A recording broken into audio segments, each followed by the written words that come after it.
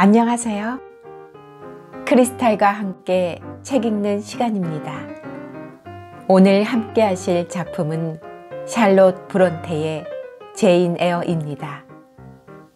샬롯 브론테는 영국의 작가로 1816년 요크셔주의 목사 집안에서 태어났습니다. 다섯 살때 어머니를 여윈 뒤 10살도 되기 전에 두 언니를 잃었으며 다 자라서는 남동생과 여동생, 두 동생을 잃는 등 죽음의 그림자가 그녀 곁을 떠나지 않았습니다. 1842년 교원 자격증을 얻기 위해 브리셸의 학교에 입학하였고 그곳에서 가정을 가진 애제 교수에게 특별한 감정을 품게 되는데 그녀의 처녀작 교수나 빌렛 같은 작품에 그에 대한 사모의 감정이 형태를 달리해 묘사되고 있습니다. 그녀는 1854년 아버지의 보좌역을 맡았던 니콜스 목사와 결혼했으나 그 이듬해 폐결핵에 걸려 39세의 나이에 갑자기 세상을 떠났습니다. 샬럿은 짧은 생을 살았기에 그리 많은 작품을 남기지는 않았지만 오늘날까지 많은 독자들의 사랑을 받고 있습니다. 그녀는 여성으로서의 삶이 아니라 한 인간으로서의 삶을 피력했고 단번에 근대 작가의 반열에 오를 수 있었는데 그것이 오늘날까지 많은 독자를 사로잡는 이유라고 할 수 있습니다. 구독, 좋아요, 알림 설정 부탁드립니다. 6. 이튿날도 전날과 다름없는 일과가 시작되었다. 나는 희미한 촛불 아래서 옷을 입었다. 이날 나는 제4반 학생으로 편입되어 정식으로 수업을 받을 수 있었다. 전날은 그저 구경꾼의 입장에서 여러 가지 과정들을 지켜보았지만 이젠 함께 행동하게 된 것이다. 처음에는 익숙하지 않아서인지 공부 시간이 지루하고 힘들기만 했다. 로드에서의 하루 중 가장 유쾌한 시간은 저녁 휴식 시간이었다. 수업이 끝나고 오후 5시에 먹는 빵 부스러기와 커피 한 잔은 배고픔을 완전히 가시게 해주지는 않았으나 기운을 회복시켜 주기는 했다. 촛불 대신 다소 환하게 피워진 난로불로 인해 교실안은 오전보다는 훨씬 따뜻했다. 오렌지빛 노을, 자유로운 잡담, 떠들썩한 소리들이 한데 어우러져 활발하고 자유로운 분위기를 느끼게 했다. 스케처드 선생이 자기 학생인 번스, 나와 베란다에서 얘기하던 소녀, 를 때린 날 저녁 나는 평소와 다름없이 긴 의자와 테이블 그리고 낄낄대는 학생들 사이를 왔다 갔다 하고 있었다. 친구는 없었으나 그다지 외로운 기분은 아니었다. 나는 창가로 다가가 이따금 덧문을 열고 눈이 몹시 퍼붓는 밖을 내다보곤 했다. 내가 만일 단란한 가정과 부모 곁을 갓 떠나온 처지였다면 이런 때야말로 혼자 떨어져 있다는 것을 절실하게 슬퍼했을 것이다. 하지만 부모도 가정도 잃은 지 오래된 나는 다만 입 떨어진 나무를 흔들고 가는 바람 소리에 귀를 기울이고 있을 뿐이었다. 나는 난로 옆에서 번스를 발견했다. 그녀는 꿇어 앉아서 희미한 난로의 불빛으로 책을 읽고 있었다. 아직도 아까 읽던 그 책이니? 나는 그녀 뒤로 다가가서 말했다. 응, 이제 거의 다 읽었어. 5분쯤 지난 뒤 그녀는 책을 덮었다. 이젠 말을 걸어도 되겠지? 하고 생각한 내가 물었다. 번스, 네 이름이 뭐니? 헬렌, 어디서 왔니? 아주 먼 곳이야. 스코틀랜드 국경. 다시 돌아갈 거니? 그러려고 하지만 아무래도 장래일에 대해서는 장담을 못하니까. 너는 로드를 떠나버리고 싶지. 아, 아니, 왜? 난 공부를 하러 왔는걸. 공부를 끝마치기 전에는 집으로 돌아가 봐야 아무 소용도 없어. 그렇지만 그 스케쳐도 선생님이 너한테 너무 심하게 굴잖아. 심하게 군다고? 천만에.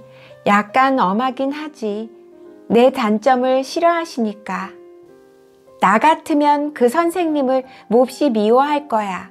그리고 반항할 거야. 그렇게도 못할 테지만 만일 그런 짓을 하면 브로클 허스트 씨가 퇴학시켜 버릴 거야. 그렇게 되면 너희 집 사람들이 몹시 걱정할 텐데 경솔한 행동을 해서 다른 사람을 걱정시키는 것보다는 그 괴로움을 혼자서 견디는 게 더 낫단다. 그리고 또 성경에도 악을 선으로 갚으라는 말씀이 있잖니. 하지만 학생들이 가득한 교실 한복판에서 매를 맞고 벌을 선다는 건 몹시 부끄러운 일이거든. 그리고 넌 다 자란 처녀잖아. 난 너보다 훨씬 어린데도 그런 건 절대로 못 참아. 그렇지만 어떻게 해도 그것을 피할 수 없을 땐 견뎌내는 게 의무야. 참아야만 하는 게 네 운명인데 그것을 못 참겠다는 건 네 의지가 약한 탓이야. 나는 이런 말을 잘 이해하지 못했기 때문에 이상한 기분으로 그녀의 말을 들었다. 사실 그녀의 말이 옳을지도 모르지만 나는 더 이상 심각하게 생각하고 싶지 않았다. 잠시 후 나는 다시 물었다.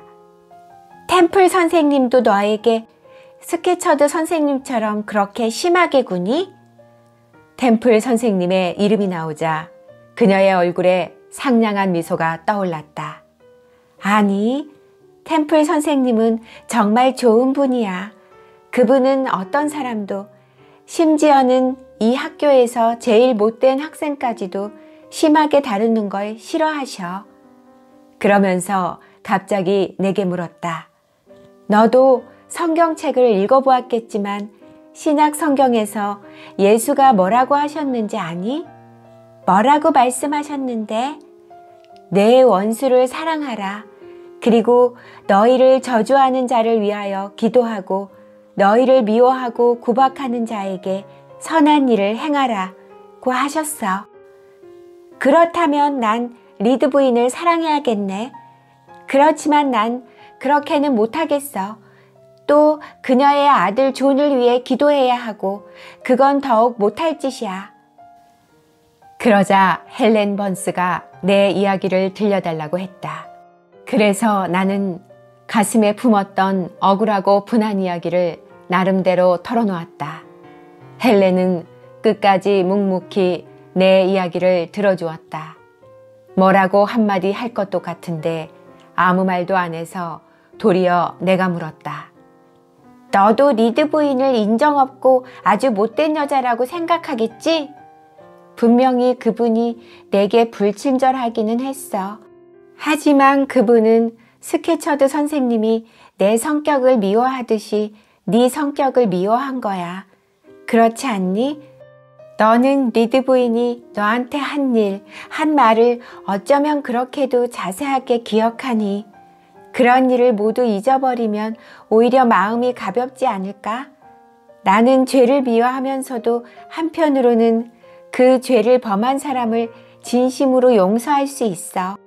그런 마음만 가지고 있으면 복수할 생각에 사로잡히지도 않고 사람을 미워하게 되지도 않아. 헬렌 번스는 말을 마치고 나서 깊은 생각에 잠겼다. 그러나 반장이 와서 소리치는 바람에 곧 생각에서 깨어났다. 야! 헬렌 번스! 빨리 사람을 정리하고 바느질감을 치우지 않으면 스케쳐드 선생님께 이른다. 그러자 헬렌은 깊게 한숨을 내쉬면서 일어나 망설이지 않고 더욱이 반장 말에 대꾸하지도 않은 채 반장이 지시한 대로 했다. 나는 헬렌 번스가 서랍을 정리하는 동안 그녀가 한 말에 대해 곰곰이 생각해 보았다.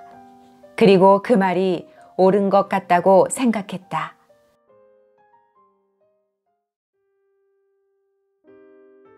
7.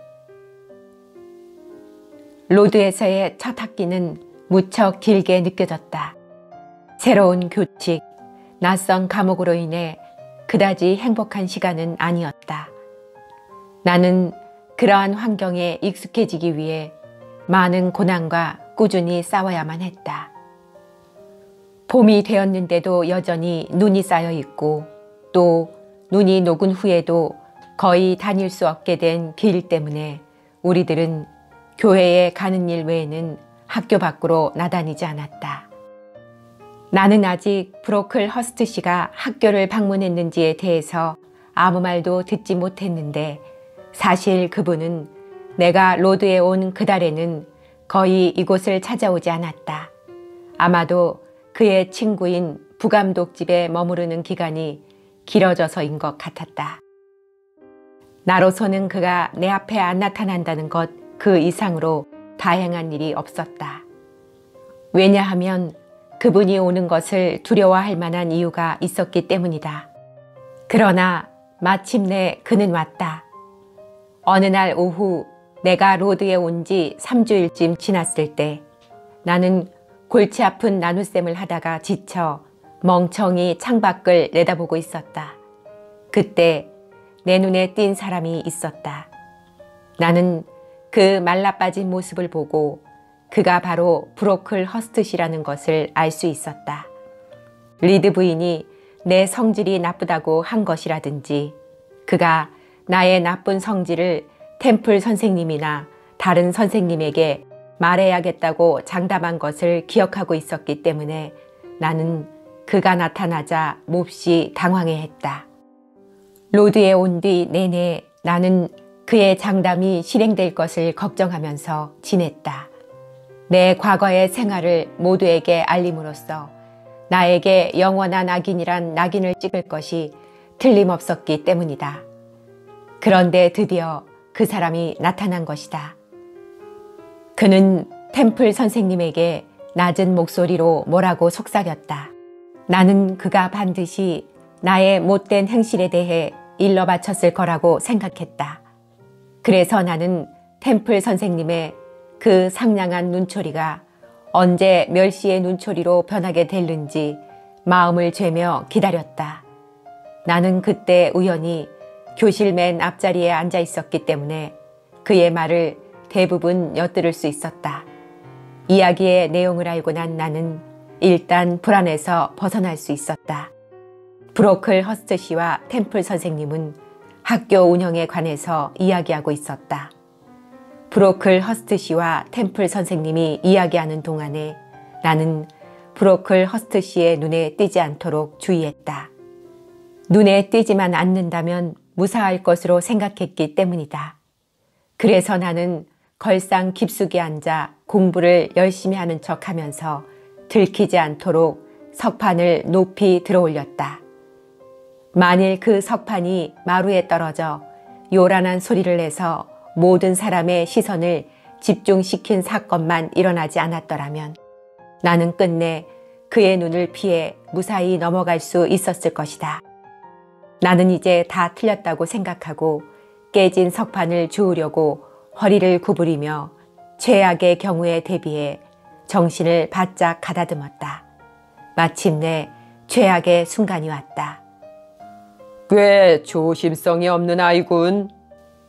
브로클 허스트 씨는 이렇게 말하고 나서 곧 이번에 새로운 학생인가 본데 하고 덧붙여 말했다. 그리고는 내가 채 숨을 돌리기도 전에 저 학생은 주의를 시키지 않으면 안 되겠군. 석판을 깨트린 학생을 이리 나오라고 하시오. 하고 소리를 질렀다. 갑자기 얼어붙은 듯 몸이 말을 듣지 않았다. 그러자 템플 선생님이 다정스럽게 나를 그의 앞에까지 데려다 주었다. 그리고 내게 귓속말을 했다. 두려워할 것 없어, 제인. 그건 실수로 그런 것이니까. 그러나 그 상냥한 말은 내 가슴을 날카로운 비수처럼 찔렀다. 순간 나는 이제 저분도 나를 거짓말쟁이라고 비웃겠지? 하고 생각했다. 그러자 나의 가슴 속에서는 리드 부인 브로클 허스트 씨 그리고 그런 부류의 사람들에 대한 분노가 끓어올랐다. 나는 결코 헬렌 번스 같은 아이는 아니었다. 저 걸상을 가져와라. 브로클 허스트 씨는 교실 구석에 있는 높은 걸상을 가리키며 말했다. 반장이 걸상을 가져왔다. 그 위에 저 아이를 올려놔요. 그리하여 나는 그 높은 걸상에 올려졌다. 누가 올려졌는지 그런 사소한 일은 살필 겨를도 없었다. 브로클 허스트 씨는 헛기침을 한번 하고 나서 사람들 쪽을 향해서 말했다. 템플 선생, 여러 선생님들, 그리고 학생들 모두 이 아이를 보고 계시죠? 보시다시피 이 애는 아직 어립니다. 언뜻 보기엔 이렇게 다른 아이들과 똑같은 모습을 하고 있습니다. 은혜롭게도 하느님께선 우리 모든 사람에게 주신 것과 같은 모습을 이 어린애에게도 주셨습니다. 이 애의 어디에도 악마의 종이라는 느낌을 갖게 할 만한 구석은 없습니다. 그러나 슬프게도 그것은 사실입니다. 잠시 말이 그친 사이에 나는 얼떨떨한 정신을 바로잡았다. 이미 일은 벌어졌고 이제는 이 일에 어떻게 당당하게 맞서 나가느냐 하는 문제만이 남아 있었다. 여러분, 브로클 허스트 씨는 다시 말을 이었다. 매우 슬프고도 마음 아픈 일입니다. 왜냐하면 나는 본래는 하느님의 양이었을지도 모르는 이 소녀가 참된 양의 무리에 속하지 않고 분명히 우리들의 방해자라는 것을 밝히지 않으면 안 되기 때문입니다. 여러분은 될 수 있으면 이 아이와 놀지 않도록 주의하세요. 그리고 선생님들, 여러분도 이 아이의 거동을 주의 깊게 살펴보십시오. 왜냐하면 이 소녀는 기독교 국가에 태어났으면서도 악마에게 기도하고 무릎을 꿇는 아이보다도 못한 거짓말쟁이이기 때문입니다. 그런 후 10분가량 말이 끊겼다가 브로클 허스트 씨는 다시 말을 이었다. 나는 이 사실을 이 아이의 은인이 되는 부인에게서 들었습니다만 경건하고 자애로운 그분은 고아인 이 아이를 맡아서 친딸과 다름없이 키워주신 그 관용에 이 불행한 아이가 말할 수 없이 사악한 배신으로 보답해왔기에 할 수 없이 이 아이의 악덕의 본보기가 자기 아들, 딸들의 순결한 마음씨를 더럽힐 것이 두려워 떼어놓지 않을 수 없게 된 것입니다. 그 부인께서는 마치 그 옛날 유태인이 병자들을 물결이 일렁이는 베데사의 영천에 보냈듯이 이 아이의 버릇을 고치기 위해서 이곳으로 보내신 겁니다. 그러므로 여러 선생님과 교장 선생님께 부탁의 말씀을 드리는 것은 부디 이 아이의 주변의 물이 흐려지지 않도록 주의하시라는 겁니다. 이렇게 엄숙한 결론을 내리고 브로클 허스트 씨는 외투에 맨 윗단추를 끼우며 가족들에게 뭐라고 속삭였다. 그녀들은 일어섰으며 템플 선생님께 고개를 숙여 인사를 한 뒤 위풍당당하고 엄숙한 걸음으로 교실에서 나갔다. 브로클 허스트 씨는 출입문에 서서 다시 한번 돌아보더니 이렇게 말했다. 저 애를 앞으로 30분간 더 세워두시오. 그리고 오늘은 온종일 아무도 저 애와 말을 못하도록 하시오. 그리하여 나는 높은 의자 위에 서 있어야만 했다. 그냥 방 한가운데 서 있는 것조차 부끄럽다던 내가 이제는 그보다 훨씬 더 불명예스러운 자리에 서서 여러 사람의 따가운 눈총을 받아야 했다. 그때의 내 심정은 지금 도저히 말로는 표현할 길이 없다. 그런 내 곁을 한 학생이 스쳐갔다. 그녀는 지나면서 고개를 들었다. 아, 그 얼굴, 그 눈, 헬렌 번스였다. 나는 지금도 기억하고 있다. 그녀의 그 부드럽고 용기를 북돋아주는 눈빛으로 인해 내가 얼마나 마음의 위로를 받았던가를.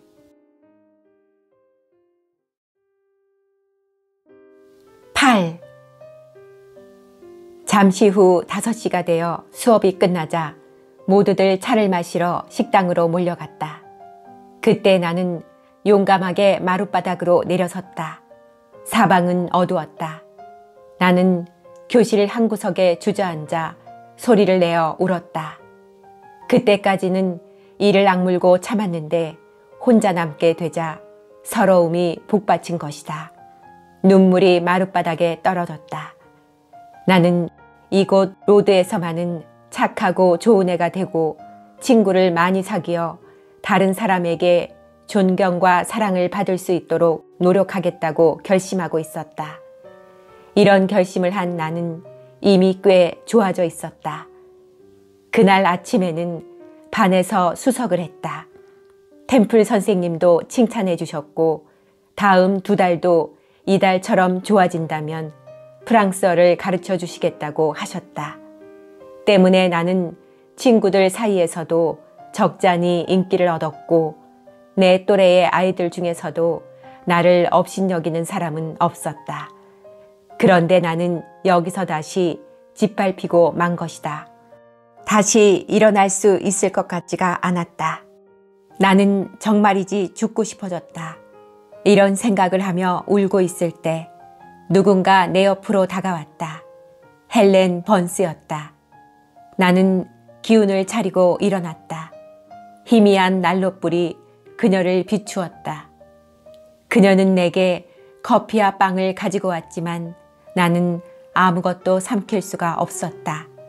울음을 그칠 수가 없었기 때문이다. 나는 마음을 진정시키려고 애썼지만 이때만은 어쩔 수가 없었다.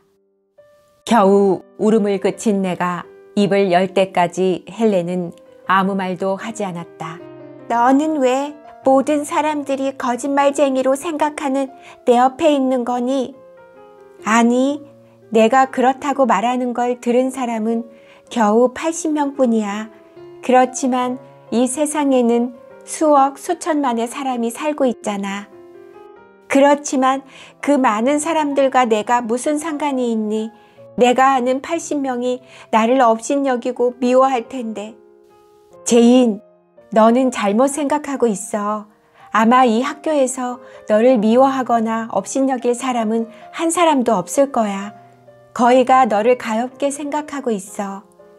브로클 허스트 씨가 그렇게 심하게 말하는 걸 들었는데도 나를 가엽게 여길까? 브로클 허스트 씨가 하느님은 아니니까 또 위대하고 모든 사람들에게 존경받는 사람도 아니고 이 학원에서 아무도 그를 좋아하지 않아. 남을 위한 일이라고는 한 번도 해본 일이 없으니까. 그리고 제인. 그녀는 여기서 잠깐 말을 멈추었다. 뭐지, 헬렌? 나는 그녀의 손에 내 손을 얹으면서 물었다. 설령 온 세상 사람들이 모두 널 미워해도 너 자신의 양심이 스스로 너를 정당하다고 인정하고 아무 죄가 없다는 것을 주장하는 한 너는 외톨박이가 아니야. 그야 나도 내가 옳다고 생각하지 않으면 안 된다는 건 알아. 하지만 나 혼자만 그래봐야 소용이 없어. 남들이 나를 사랑하지 않는다면 차라리 나는 죽는 것이 나아. 헬렌, 외톨박이로 미움을 받아가며 살아간다는 건 정말 견딜 수 없는 일이야. 난 너와 템플 선생님이나 그 밖에 내가 정말로 좋아하는 사람에게서 참된 사랑을 얻기 위해서라면 어떤 어려움이라도 이겨낼 수 있어. 잠깐 제인, 넌 인간의 사랑이란 것을 너무 과장해서 생각하는 것 같아. 너무 감정에 치우쳐 있는 게 아닐까? 인간 모두를 창조하신 하느님께서는 우리들의 연약한 육체 위에 의지가 될 만한 것, 즉, 영혼의 세계를 만들어 주셨단다. 그래서 천사들이 우리를 보살펴 주는 거야. 우리가 아무리 사방에서 짓밟히고 조롱당해도 천사들은 우리들의 고통을 지켜봐 주고 우리가 옳다는 것을 믿어준단다. 나는 아무 말도 하지 않았다. 헬렌은 나의 마음을 가라앉혀 주었다. 얼마 후 바람이 구름을 모두 몰아가고 달빛만이 남겨졌을 때 우리는 그 달빛으로 인해 우리들에게 다가오는 한 사람의 그림자를 보았다. 템플 선생님이었다. 제이네요. 널 데려가려고 일부러 찾아왔다. 내 방으로 가자. 그리고 마침 헬렌 번스도 있으니 같이 오너라. 우리들은 템플 선생님을 따라 몇 개의 복도를 지나 층계를 올라갔다. 난로불이 뜨거워서 방 안은 포근하고 아늑했다. 다 끝났지? 템플 선생님은 내 얼굴을 내려다보며 물었다. 슬픔을 눈물로 씻어버렸느냐 말이야. 쉽게 그럴 수 있을 것 같지 않아요. 왜? 너무 억울한 꾸중을 들었으니까요. 이젠 선생님도 또 다른 사람들도 모두 나를 형편없이 못된 아이라고 생각하시겠지요. 내가 착한 아이인지 못된 아이인지는 앞으로 내 행동에 달려 있어. 계속 착한 아이가 될 수 있도록 노력해라. 그러면 되는 거야. 제가 그럴 수 있을까요, 선생님? 그럼 그렇고 말고 템플 선생님은 나를 한 팔로 안아주며 계속 말했다. 참, 브로클 허스트 씨가 말한 내 은인이란 누굴 말하는 거지? 리드 부인이라고 제게는 외숙모님이세요. 외삼촌은 돌아가셨는데 돌아가시면서 저를 리드 부인에게 부탁하셨지요. 그렇다면 그 부인이 너를 스스로 맡은 게 아니구나. 네, 리드 부인은 그렇게 하지 않을 수 없게 된 것을 못마땅하게 생각했지요. 하지만 외삼촌께서는 돌아가시기 전에 리드 부인에게 언제까지나 저를 맡아줄 것을 당부하셨단 얘기를 하인들한테서 들었어요. 자, 그러면 제인, 내가 다 들어줄 테니까 얘기를 해봐라. 그렇지만 덧붙이거나 과장하지는 말고. 나는 될 수 있는 한 정확하게 말하려고 결심했다.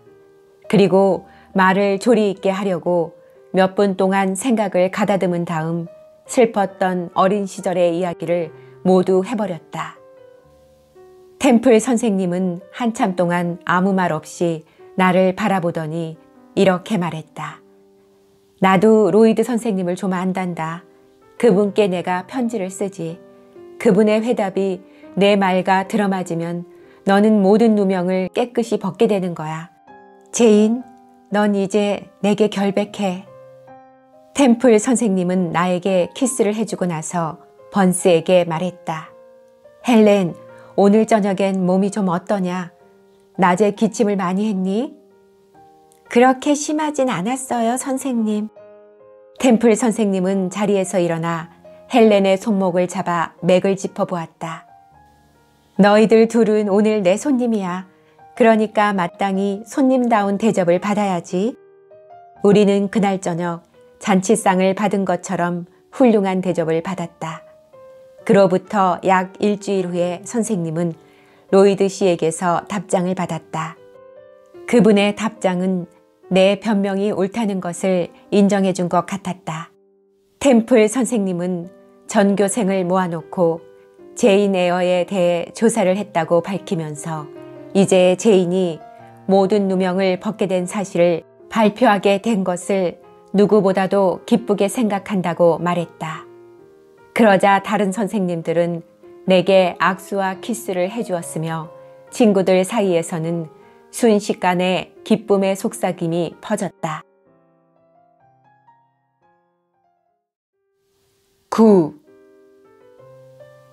로드에서의 불편함이나 괴로움은 차츰 사라져가고 어느덧 봄이 다가왔다. 그러나 봄의 짙은 안개는 로우드 학생의 반수 이상을 열병으로 앓아눕게 했다. 로우드 학교가 자리 잡고 있는 숲속의 골짜기는 안개로 인해서 일어나는 질병의 온상이었다.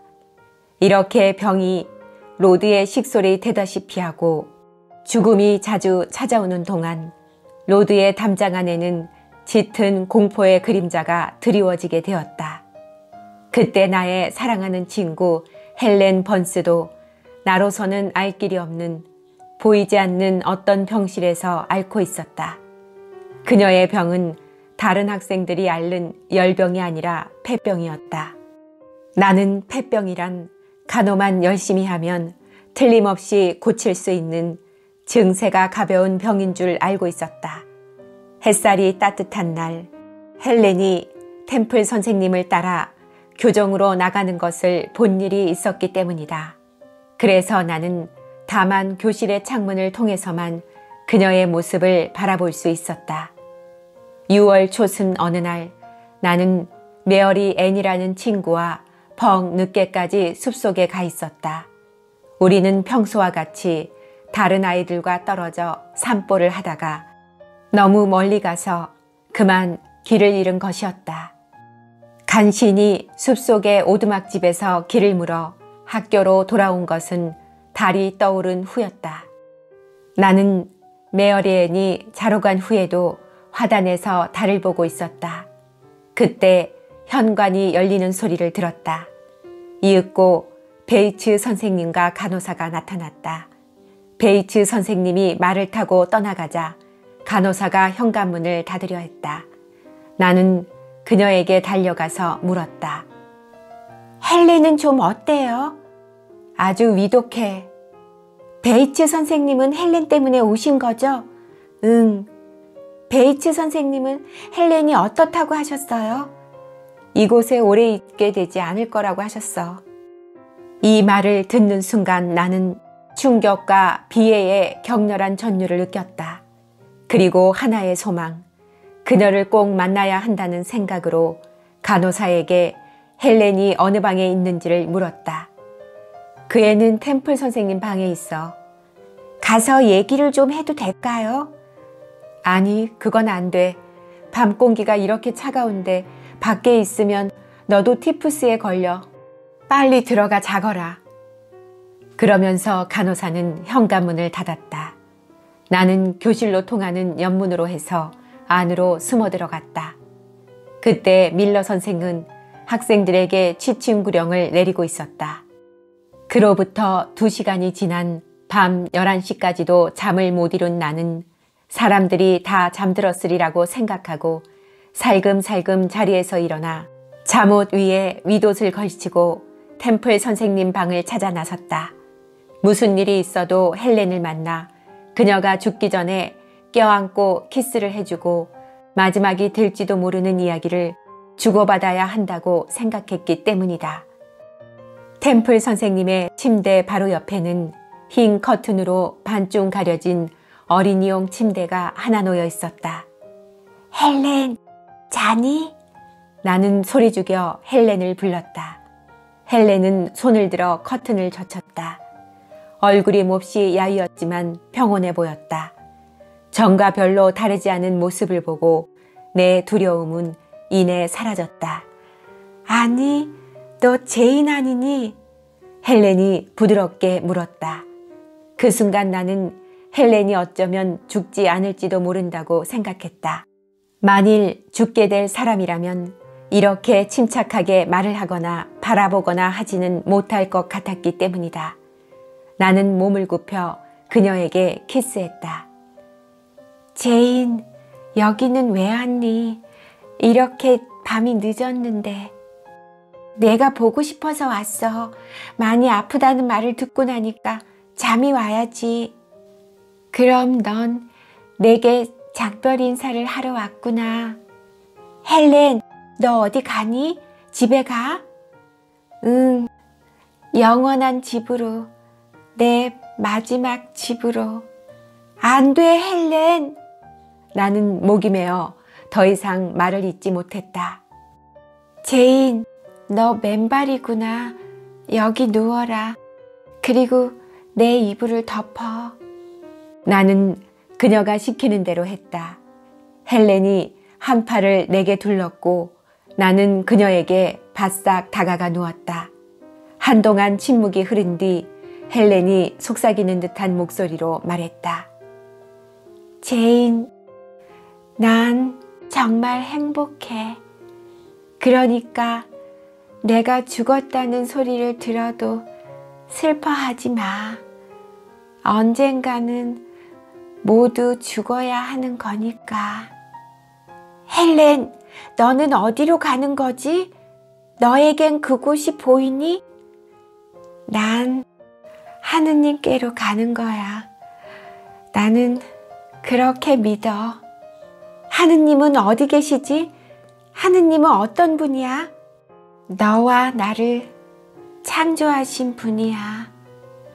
하느님께서는 당신이 만드신 것은 절대로 멸망시키지 않으신단다. 난 그렇게 믿어. 나는 내가 하느님을 사랑하고 있고 하느님도 나를 사랑하신다는 것을 믿어.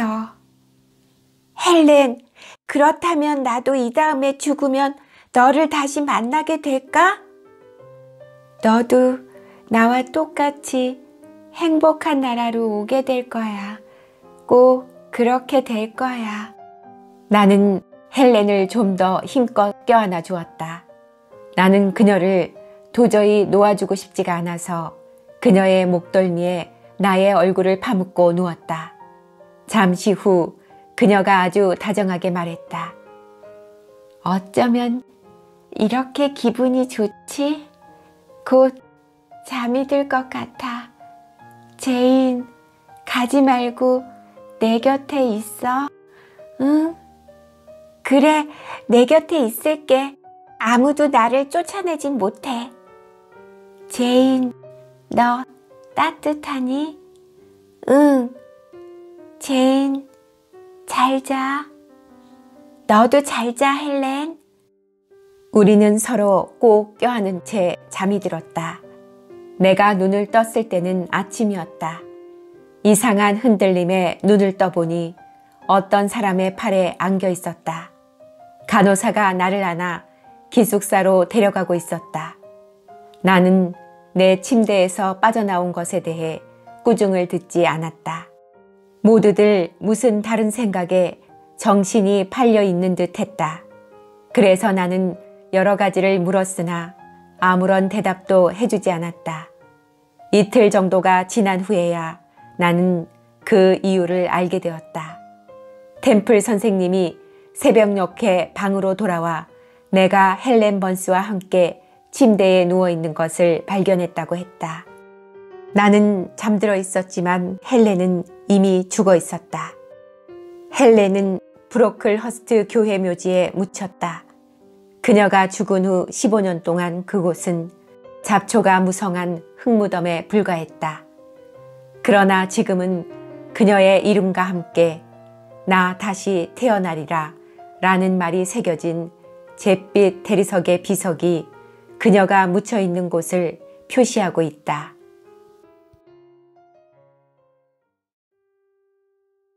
10. 기세를 떨치던 티푸스도 차차 수그러져 갔다. 그러나 로드 학교는 그동안 병이 끼친 해독으로 많은 학생이 죽었다는 사실 때문에 사람들의 관심을 끌게 되었다. 병의 원인을 조사한 결과 학교가 있는 장소가 건강에 좋지 않다는 것, 어린아이들이 먹는 음식의 양과 질, 요리하는 데 사용되는 찝찝하고 냄새나는 물, 학생들의 초라한 옷과 시설 등에 대한 것이 밝혀졌다. 그 결과 브로클 허스트 씨로서는 명예롭지 못한 일이었지만 학생들에게는 유리한 방향으로 일이 처리되었다. 그 지방에 인정 많고 부유한 사람이 좀 더 나은 환경에 시설이 좋은 교사를 지어준 것이다. 그리하여 마침내 로드는 좋은 환경의 학교로 다시 태어나게 되었다. 나는 학교가 개선된 후 6년은 학생으로 2년은 교사로서 학교에 머물러 있었다. 템플 선생님은 계속해서 교장 선생으로 자리를 지키고 있었다. 그분은 나에게 어머니와 가정교사, 그리고 나중에는 친구 노릇까지 해주신 분이었다. 그 즈음 선생님은 결혼을 해서 목사인 남편과 함께 먼 지방으로 이사를 갔다. 그분이 떠나버린 날부터 나는 로드에 더 이상 머무를 생각이 없어져 버렸다. 그래서 나는 궁리 끝에 신문 광고를 통해 가정교사직을 구하기로 했다. 신문 광고를 냈더니 얼마 후에 페어팩스라는 부인 이름으로 된 통지서가 날아왔다. 지난주 목요일 XX주 헤럴드지에 광고를 내신 제2님이 광고 내용과 같은 학식을 갖추었고 인물과 능력에 대한 만족할 만한 증명서를 제출하실 수 있으시면 다음과 같은 일자리가 있습니다. 학생은 8살 미만의 소녀이며 봉급은 연 30파운드를 드립니다. 증명서, 성명, 주소, 기타 참고사항을 다음 주소로 보내주십시오. XX주 밀코트 근교 손필드 페어팩스 부인 나는 그 편지를 다시 한번 살펴보았다. 서체는 나이 지긋한 부인의 것인 듯 예스럽고 글씨도 투박했다. 조건은 만족할 만했다. 그러나 한편으로는 자력으로 자신의 의사에 따라 행동함으로써 자신을 위험 속에 빠뜨리는 모험을 하고 있는 것은 아닐까 하는 한 가닥 불안을 떨쳐버릴 수가 없었다. 그래서 나는 이 노력의 결과가 고상한 그리고 올바른 격식을 갖춘 것이길 간절히 빌었다. 차차 내 생각은 나이 지긋한 부인의 출연이 내 앞에 닥쳐올 문제를 해칠 요소는 아닌 것 같다는 쪽으로 기울어져 갔다. 나는 그곳으로 떠날 결정을 하고 준비를 했다. 2주일이 순식간에 지나갔다. 떠나는 날 나는 이것저것 짐을 챙기고 서랍 속에 혹시 남은 것이 없나 뒤져보았다. 그러고는 이제 더 할 일이 없음을 알고 쉬려고 했지만 그럴 수가 없었다. 나는 너무나 흥분해 있었던 것이다. 그때 하녀가 아래층에서 누가 나를 찾아왔다고 전해주었다. 나는 아마 짐꾼들이 왔겠지 라고 대수롭지 않게 생각하며 누구냐고 묻지도 않고 아래층으로 뛰어내려갔다. 내가 아래층 부엌으로 가는 문 앞을 막 지나려고 할 때 누군가가 튀어나왔다. 아, 당신이군요. 어디서든지 알아볼 수 있겠어요. 검은 눈에 검은 머리, 명랑해 보이는 아름다운 여인이었다. 나를 알아보겠어요? 그 여인은 귀에 익은 목소리로 웃으며 말했다. 제이나 씨, 나를 아주 잊어버린 건 아니겠죠? 다음 순간 나는 정신없이 그녀를 껴안고 키스를 퍼부었다. 배씨, 배씨, 배씨. 그 밖엔 아무 말도 할 수가 없었다. 그녀도 반은 웃고 반은 울면서 나를 끌어안았다. 우리는 자리를 방으로 옮겼다.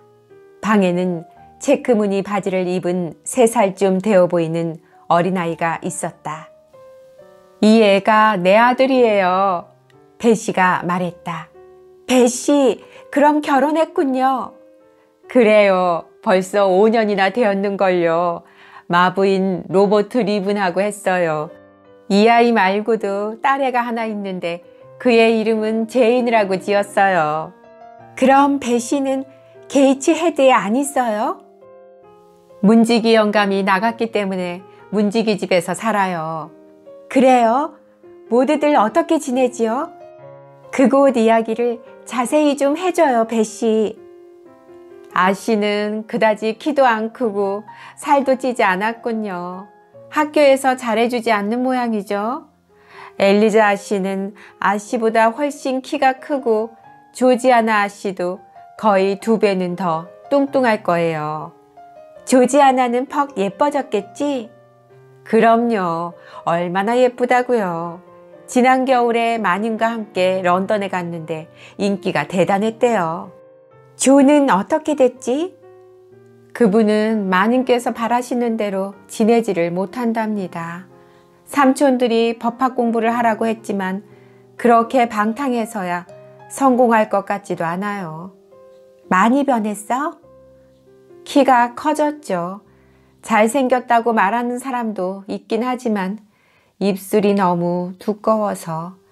리드 부인은 마님이야 보기엔 건강하지만 마음은 그렇게 편치 않으실 거예요.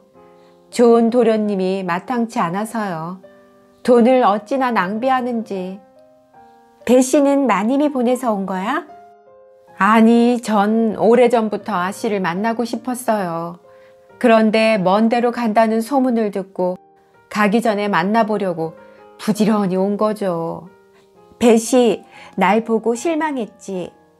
아니, 제이나 씨, 그렇지 않아요. 고상한 기부인처럼 보여요. 사실 아 씨는 어렸을 적부터 그다지 미인은 아니었으니까요. 나는 배 씨의 숨김없는 솔직한 말에 웃음이 나왔다.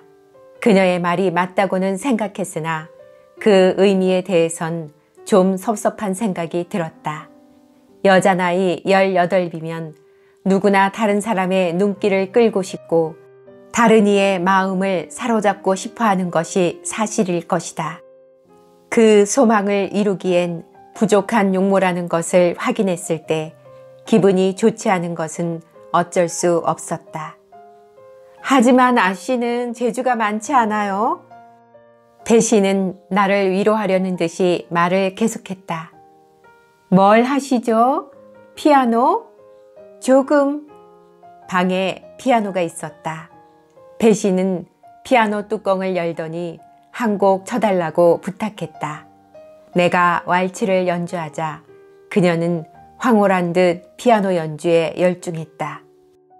리드가의 아가씨들은 이렇게 잘 치지 못해요. 그녀는 몹시 기뻐하면서 말했다. 전 언제나 이렇게 말했답니다. 제인 아씨는 공부로는 아무에게도 지지 않는다고 말이에요.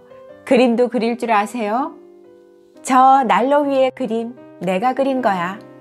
그 그림은 물감으로 그린 풍경하였다. 배시는 예쁘다고 감탄을 했다. 배시와 나는 그 후로도 한 시간 이상이나 옛날 이야기를 나눴다. 그러나 그녀와 다시 헤어지지 않을 수 없었다. 배시는 게이츠 헤드로 갈 마차를 타러 로드의 산기슭으로 떠났고 나는 새로운 생활이 기다리는 밀코트 근교의 새 일터로 나를 실어다 줄 마차에 올랐다.